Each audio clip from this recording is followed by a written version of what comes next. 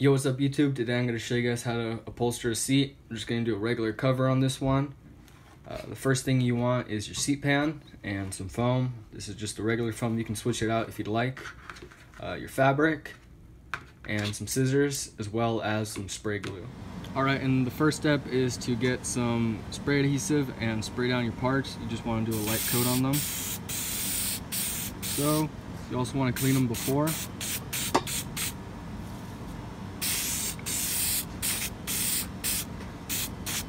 So you want to spray your seat pan and your seat foam.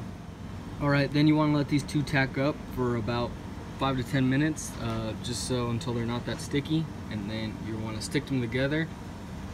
Uh, line them all up good before you do that because these will not come apart once they're stuck together.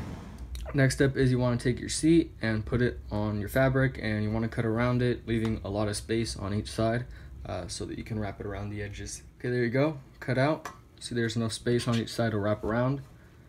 And the next step is just as before. Same thing as last time. Uh, if you guys are wondering what glue I'm using, it's 3M Super 77.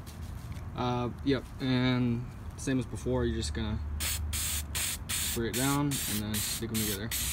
You wanna let the glue tack up, maybe give it like five minutes, uh, and then you can stick them together.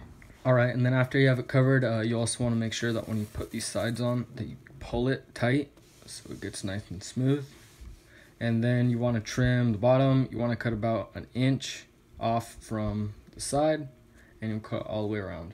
All right, and then the next step is to get these little tabs in here and open them up. I just use the knife to crack them open like that on each one. And then you want to take your fabric and fold it over at the edge. Hopefully there's still some spray glue on there. If not, it's fine. And then you're going to tuck it in like so. Make sure you pull it down as far as it can go. Like that.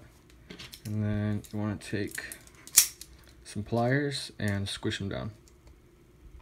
Like that. And you want to do that all the way around the whole thing. Just like and that. And here's the finished product. You can see it turned out pretty good and you can see the bottom turned out nice and clean down here uh, because of the fold that I did. And down here you just want to glue it down like so on the back and on the front because there's no tabs holding it down.